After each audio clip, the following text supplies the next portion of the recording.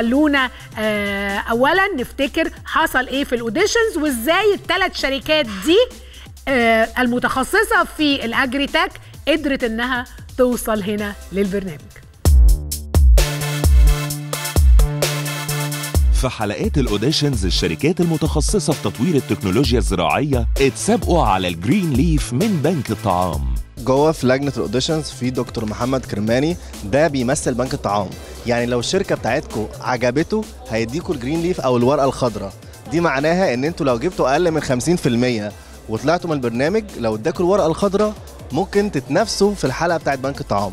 الورقة الخضراء دي ممكن تتاخد منكم عادي جدا لأن هم مش بينقوا غير ثلاث شركات بس. إن أنا أروح للفلاح أتكلم معاه أو ال farmer أقول له إن هو أنت مثلا الأرض الزراعية بتاعتك ديت أنا أنت عايز مثلا انت عايز تطور فيها عايز تزود الإنتاج بتاعك فإزاي تقدر تزود الإنتاج ده؟ ده بالنسبة لنا إحنا في البنك interesting جدا. هياخدوا ال green leaf خدوا ال green leaf أنا مهندس عمر عبد اللطيف مؤسس شتلة وعن طريق الذكاء الاصطناعي بنقدر نرشح لل- للمزارع مستلزمات الإنتاج اللي هي معتمدة وموثوق فيها. green leaf جت. أنتوا معانا. أنتوا صح معانا يا بنك معانا. مهندس فتحي مهندس مصطفى مهندس محمد. إحنا مهندسين زراعيين team اجري فيزيتا ما ظهرتش علامة ال green leaf ف good luck أنا اسمي وليد نصر من محافظة اسكندرية مؤسس منصة زرعي. أنت حضرتك بتعمل معاه إيه بقى؟ بيد- بيدخل بيانات المحصول بيدخل بيانات الأرض. أنتوا agritech يعني في احتمال إن أنتوا تاخدوا green leaf وأخدتوا ال green leaf كمان. green leaf سقفة كمان ال green leaf يا جماعة.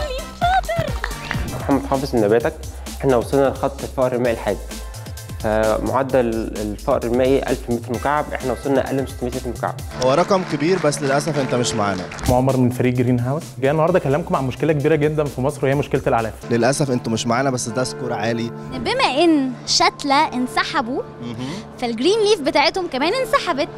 فده معناه إن فارمتوبيا اللي هو المتسابقين اللي جايين في احتمال كبير جدا أو الله أعلم إن بنك الطعام يدوهم ال green leaf فارمتوبيا هي شركة لزراعة دقيقة وزراعة ذاتية التحكم بأجهزة إنترنت الأشياء الأوتوماتيكية.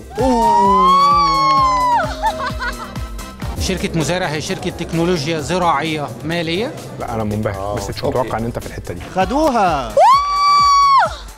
فارمتوبيا للأسف كده طلعوا لأن هم كان معاهم ال green leaf واتسحبت منهم. اتسحبت منهم وراحت لمزارع وهم كانوا أقل score ممثل بنك الطعام اختار ثلاث شركات بس علشان يديهم ال green leaf علشان يتسابقوا في حلقة خاصة لمشروعات تطوير الزراعة في مصر. منافسة قوية فاز فيها زرعي ومزارع و Smart Agriculture يا ترى مين فيهم هيفوز بعقد بنك الطعام النهارده؟